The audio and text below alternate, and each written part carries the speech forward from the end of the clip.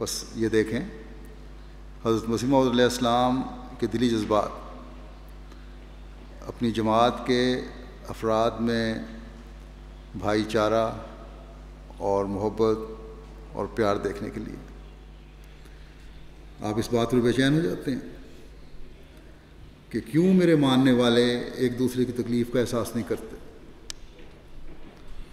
बस जलसे पर आने वालों को, जहाँ जलसे का मकसद पूरा करने के लिए अल्लाह ताला और उसके रसूल सल्लल्लाहु अलैहि वसल्लम की मोहब्बत पैदा करनी है।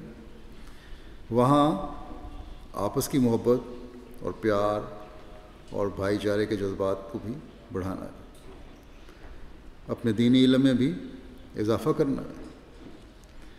आपने देखिएगा इस कैफियत का जो जलसे का मकसद है और जो जलसे में शामिल होने वालों में पैदा होगी या होनी चाहिए। इस तरह नक्शा खींचा है और बयान फरमाया है।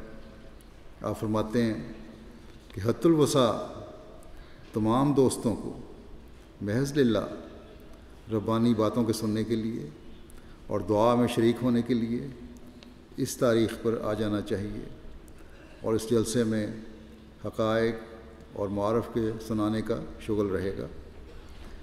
जो ईमान और यकीन और मार्फत को तरक्की देने के लिए ज़रूरी हैं। और नीज़ उन दोस्तों के लिए ख़ास दुआएँ और ख़ास तोजो होगी। और हतुलवसा बदरगाह अरहमराहमीन कोशिश की जाएगी कि खुदा ताला अपनी तरफ़ उनको खींचे और अपने लिए कबूल करे और पाक तब्दीली उनमें बख्शे। और एक आर्जी फ़ायदा इन जलसों में यह भी होगा कि हर एक नए साल जिस कदर नए भाई इस जमात में दाखिल होंगे, वो तारीख़ मुकर्रा पर हाज़िर होकर अपने पहले भाइयों का मुँह देख लेंगे।